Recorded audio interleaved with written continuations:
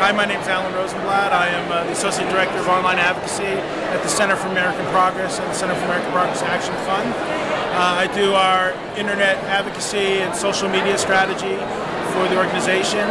Also uh, spent time uh, teaching college uh, courses on internet politics, several schools around the DC area, and I blog for a couple uh, um, blogs like Huffington Post Tech President, which is part of PDF. And I'm here at PDF because it's probably the best, if not one of the best, uh, uh, conferences on internet politics there is. And the, the, lineup of speakers is great. The people that come here are the best in the business. And uh, every year I come and I meet new people. There's uh, no reason not to be here.